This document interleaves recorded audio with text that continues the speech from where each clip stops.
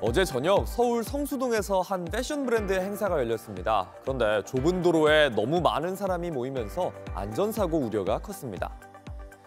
기자들과 인플루언서, 연예인을 보러 오기 위한 팬들로 도로에 사람이 끊임없이 이어집니다. 건물 밖에 마련된 포토월 주위는 더 붐볐습니다. 도로에선 버스와 차량이 사람들을 피하려다 접촉사고도 벌어졌던 걸로 알려졌습니다. 현장에 있던 한 X 이용자는요, 갑자기 포토월이 사라졌다면서 불을 다 끄고 라인도 없애버렸다면서 브랜드 측이 공간을 고려하지 않고 행사를 계획했다고 지적했습니다. 또 다른 이용자도 한 밴의 발이 버스에 거의 깔릴 뻔했다며 사람들이 밀고 들어오며 숨쉬기가 어려워져 떠날 수밖에 없었다고 했습니다. 결국 행사는 도중에 종료됐습니다. 성동구청 측은요 현장에서 경찰 등과 상황을 주시했지만 안전사고에 대한 우려가 커져서 주최 측에 자진 행사 종료를 요청했다고 밝혔습니다.